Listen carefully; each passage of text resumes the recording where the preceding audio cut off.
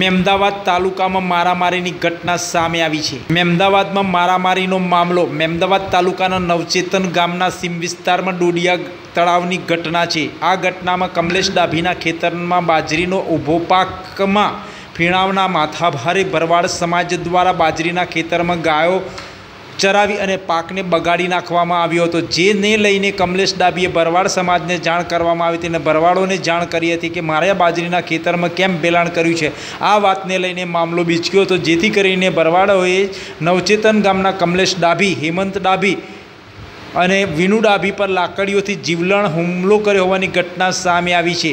આ બનાવની બાબતે પોલીસે વધુ તપાસ હાથ ધરી છે. ફીણાવના મોરાભાઈ ભરવાડ શૈલાભાઈ ભરવાડ દેવુભાઈ ભરવાડ અને ભાવેશભાઈ ભરવાડ સામે મેમદાવાદ પોલીસ સ્ટેશનમાં ફરિયાદ નોંધાઈ હોવાની ઘટના સામે આવી છે. ત્યારે મેમદાવાદ તાલુકાના નવચેતન ગામની ભેલાણ બાબતે બબાલ થતાં ત્રણ લોકો ઘાયલ થયા છે જેમને હોસ્પિટલમાં સારવાર અર્થે ખસેડવામાં આવે અને પોલીસે વધુ તપાસ હાથ ધરી છે.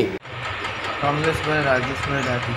તમને કહે શું સમગ્ર ઘટના બનાવવાની એમાં એવું થયું હતું તો હું બહાર લઈને ગયો હતો બાર સાડા બાર એક વાગ્યાની આસપાસ. અને મારા ખેતરમાં જ ગાયો બાજરી ખાધી હતી અને હું ગાય નહાડી અને ભરવાડને ઠપકો આપવા ગયો હતો ભાઈ ગાયો આપવા આવવા દે. નહીં. તો એમને સીધું મારા ઉપર ચારો પડીને અનુભવ કર્યો.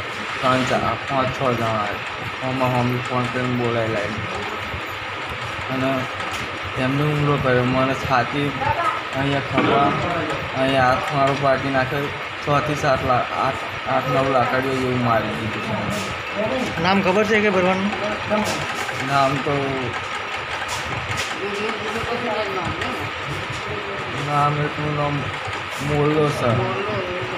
એટલું નામ હરિયો સર. એવા બે ચાર છ સાત જણા હતા.